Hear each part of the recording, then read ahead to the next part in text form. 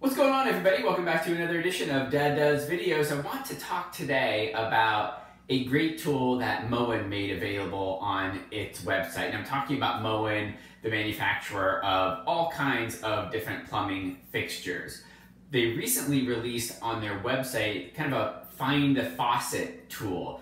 And if you're watching this and thinking, well, why would I need that? Well, think if you moved into a house and, you know, it says Moen on the bottom of the faucet but you don't know what the actual name of the product is.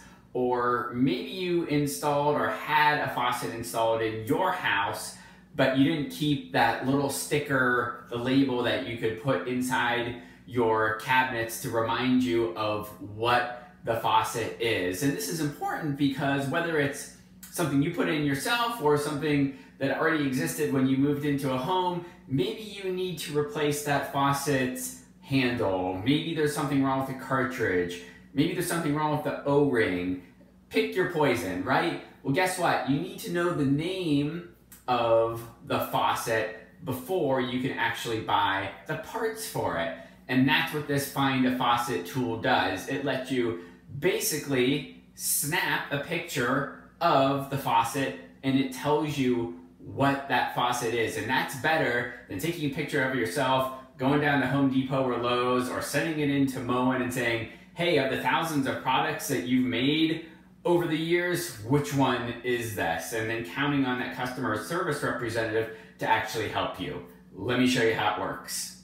We are on the Moen website and Moen does not do a great job of promoting this tool. You either have to scroll all the way to the bottom of the page that we are on or click service across the top and then press faucet identifier in that resources column. And then you get this page where all you have to do is hit that get started button on the left there.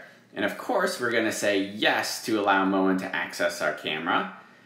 And we just match up the angle with our faucet and then hit that button at the bottom of the page. And as you can see, that white bar means Moen.com is doing some thinking, and let's see what it comes up with. There you go. You can see on the left side of the page here, it tells us the name of the faucet and the model number.